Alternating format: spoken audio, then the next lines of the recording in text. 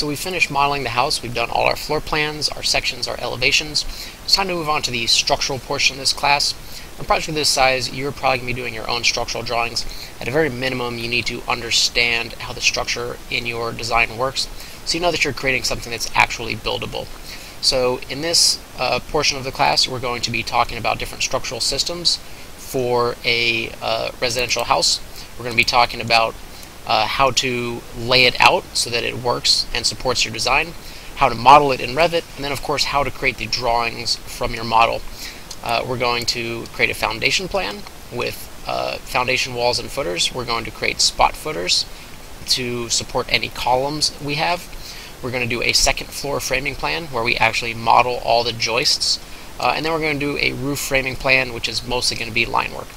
In this first lesson here, we're going to cover the foundation plan, which is going to show the layout for the foundation plan. It's going to show the size of the walls, the size of the footers, and the dimensions that they need to be built to.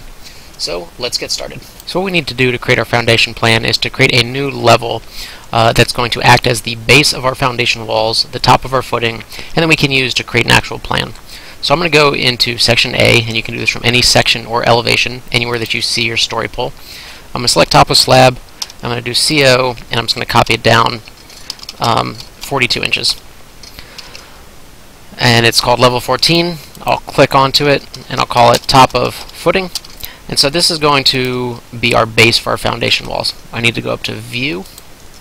I need to go to Plan View, Floor Plan, uh, and here it says top of footing. I'll hit OK, and now I get a new view up here that's that's uh, it's it's unassigned. So I'll call this um, structural. And then it's not going to be top of footing uh, we're going to call this foundation plan. So if I do rename, I'll call this foundation plan. And remember, we do not want to rename the corresponding level. So we'll say no. Uh, so again, what that was asking was, do we want this to say foundation plan? And we don't. Because in the story pole, this is a physical location of actual uh, elements of your project. You know, an actual wall or a footing is going to be located at this place. Foundation plan is just a term we use for that drawing. So let's come into our foundation plan. Um, we'll set it to quarter inch scale. We'll set it to medium detail level. We will turn on that filter so that we only see the plan, the uh, sections that we need. We'll hit OK. Um, now let's look at the section again. So the thing we also need to set, and we haven't talked a lot about this, is the view range. And the view range is basically the height and the extent of any plan view. And it's typically by default set at 4 feet, which means that it is uh, set 4 feet above the level that it's assigned to and is looking down. So if we copy this up 4 feet, we can see that this foundation plan that we just set is going to be basically cut where this red line is right here and looking down this way. Okay? But we don't want that because that's going to be cutting through this wall, it's going to be cutting through this door, it's going to be looking at this slab. What we want to do is have it cut through somewhere around here and look down because uh, this is where our foundation walls are going to be, right? The other thing is that we need to set it to look down infinitely because uh, it's assigned to this level and by default it looks only down to this level but our footings are actually going to be below it. So what we're going to do is let's just take a dimension there. Let's say that's two feet right? So if I cut this plan at two feet I'm not going to be hitting any of the walls above. So that'll be a good height to cut this plan. So if I go to foundation plan if I come over here to the uh, properties browser properties menu I'll do view range. And here it says cut plane by default it's at 4 feet so I'll set that to 2 feet. I'll set the top to be just slightly above it, so 2 foot 3. And the bottom, like I said, is at 0, but we need to see below that. We need to see uh, the footings beyond, so we'll just say unlimited. And I'll do view depth unlimited as well. So we'll hit OK, and now everything's gone away, which is fine because there's no geometry, there's nothing there in our project right now. So our view is starting to get set up. Let's hide these things. What we need to do now is start to model our foundation walls. And there's a bunch of different ways we can do that. Um, I'll show you a couple of them. Uh, this lesson on YouTube is a free excerpt from a paid professional Revit and architecture course that I teach. Check out hyperfinearchitecture.com for more details. Uh, in the course, I take you step by step through the entire process of building this house from plans, sections, elevations, structural, framing layout, foundation plans, everything you need to do uh, both architecture-wise and in Revit to produce a set of construction documents for this house. Check it out at hyperfinearchitecture.com slash courses. So I've come into my first floor plan, and the way I typically do it is what I what I want to happen. My goal is that my foundation walls, uh, the outside face of the foundation wall is going to line up with the outside face of the stud here. So it's that same location line that we've been talking about over and over again. And so a lot of times what I'll do is I'll just draw some detail lines and copy them down. So I'll hit DL, I'll zoom in, I'll find the line that represents the outside face of my stud, and as long as I click on it, um, I don't have to be super accurate about tracing the wall because the lines are going to be my guides. Um, all I have to do is make sure that I'm actually on that and not on some other layer of my wall, like not on the inside or not on the sheathing or anything like that. As long as I'm on uh, that layer, it doesn't really matter sort of the length that I draw these lines. So I'll just draw a couple of them uh, because this is method 1. Uh, now I have to select everything, filter, let me find my drafting lines red. I'll hit OK. I'll do Control X because this is my working or this is my architectural plan. I don't want any uh, drafting lines left over. So I just I drew those lines to trace the studs.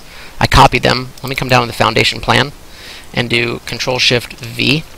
So now I know that those lines represent the outside face of the stud. And what I'm going to do is just draw a wall. I'll do D WA. Again, we're going to set a core face exterior and that's fine if it's it doesn't matter what wall it is right now we're going to set the wall type so I'll make sure that I'm drawing the I'm drawing the outside face I'll draw one this way I'll draw one here I'll draw one here I'll hit escape now I'm going to use the align tool just to make sure that I've got my uh, that it's the outside face of that stud, the outside of the core is on that red line that I was drawing, okay? So now I know that this wall is perfectly in alignment with the one below. And what I want to do is change this to a foundation wall. So I select all of them, I'll do edit type, duplicate, and I'll call this foundation, I'll say 8 inch concrete. We'll do edit, and I'm just going to delete all these layers. The only thing I want is a layer, an 8 inch layer of concrete that's right there in my core. So we'll hit delete. I'll say, um, I'll I think there's a concrete already in here. We'll do concrete cast in place gray. I'll change the cut pattern. It's already a light color, so that's fine. We'll hit OK. I'll make this 8 inches. We'll hit OK. We'll hit OK. And you see what happened is that all those other layers went away, but the face of the core stayed in the same location, which is exactly what I want. I want the outside face of that concrete to line up with the studs uh, above. So the next thing I need to do is change the constraints, and it looks like it's already set up. So the base constraint is top of footing, and the top constraint is top of slab. So let's come to our section and check out what we did. And what we did was we drew this wall right here we drew this wall right here, which is exactly what we want to see. So here's our foundation wall. It's perfectly in line with that stud below. If we come into a 3D view, we can see we got a little bit of a foundation wall right there in that location, okay?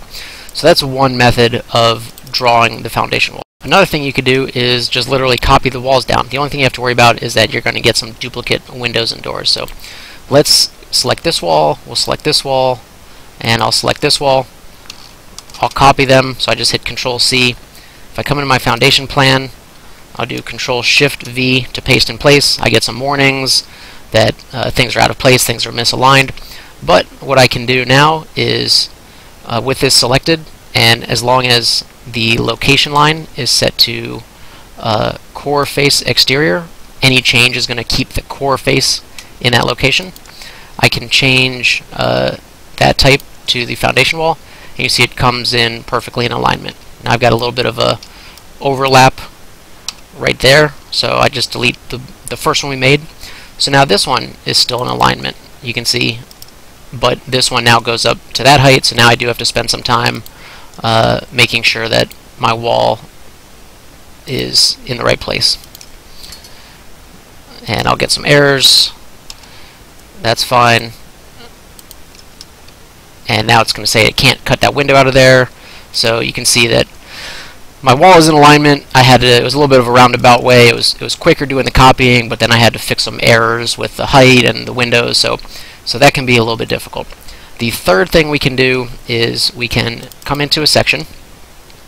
We can select the wall. We can set the so that's our first floor wall now that's going basically top of slab. We set that up very early in the project. If I set this one, uh, if I set the uh, base constraint to be top of footing.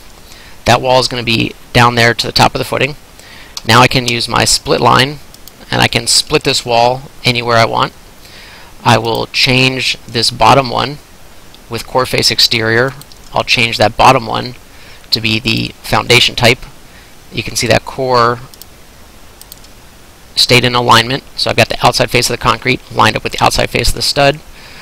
I can set this base constraint now back to top of slab with no offset and the foundation wall will follow it. And so basically now I have three, you know, I did that wall one method, I did that wall a different method, and I've done that wall a third method.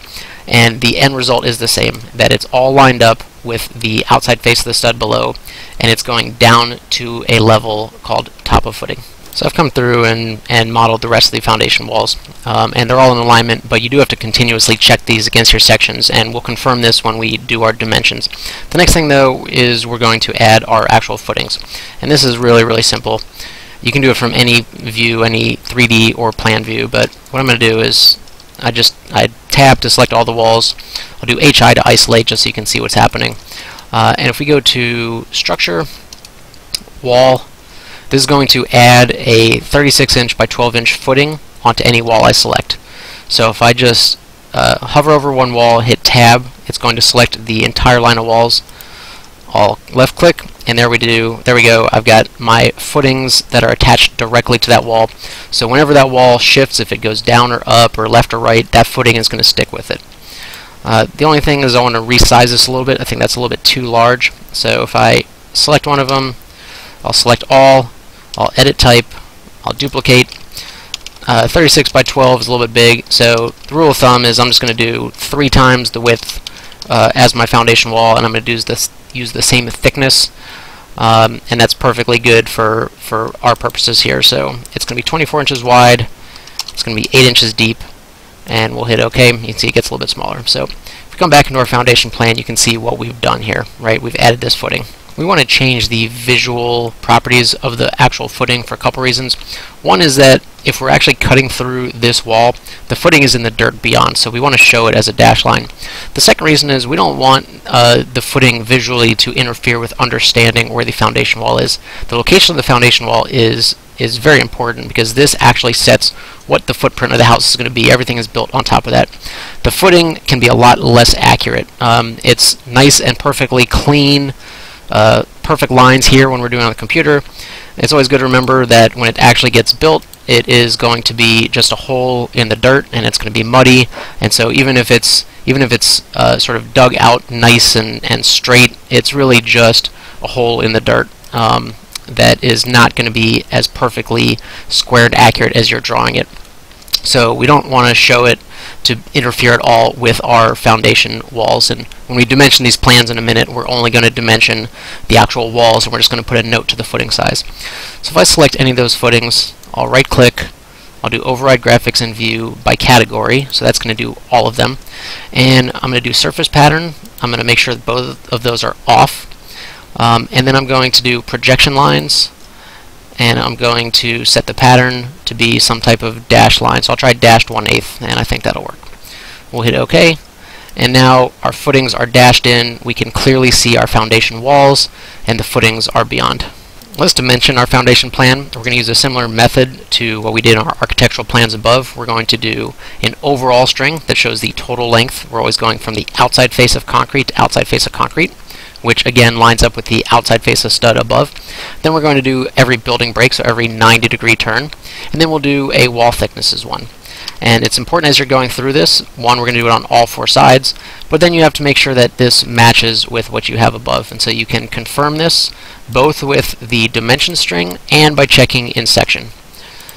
So I'm going through this pretty quickly. We covered uh, dimensions in great detail in an earlier lesson but I'm using the same construct. So what we want to do is make sure that this 56 feet out to out lines up with above, and this 35 six and a half lines up because the outside face of that concrete and this concrete should line up with the outside face of the stud above. So we want that to be 35 six and a half. Let's see if we got it right. So we've got 56 feet out to out, 35 six and a half. So if I cut a section right through this wall, I would see that everything is in alignment. So let me come back to my my uh, foundation plan and I will continue uh, dimensioning all four sides. Right, I'll get this building break, I'll get this one, and uh, I will do the wall thicknesses. And this is another instance where I might break the string just as long as it's continuous all the way across. I think it's okay if it's a little bit closer to one wall just to make it a little bit more readable. So I'll continue that on those other four side on those other two sides. I'll pause the video just for a second. So I've got my plan dimensioned. The only thing else I have to do right now is add a note about the footings. Again, we're not dimensioning to the footings, we're dimensioning to the walls. And I'm just going to use a text note to say uh, what size this footing is. So I'll add a text note with the leader. I'll say 24 inch by 8 inch footing typical. Uh, and since they're all the same, I just need one note and calls it out and just says basically they're all the same thing. If it was more complex, I could add type, I could tag them, create a schedule, but on a simple project like this, this will be enough. We're going to come back to the foundation plan in a little bit after we do our uh, second floor framing and roof framing plans because we're going to end up with some columns that need spot footings that have to be shown on this plan. But for now, uh, our foundation plan is done.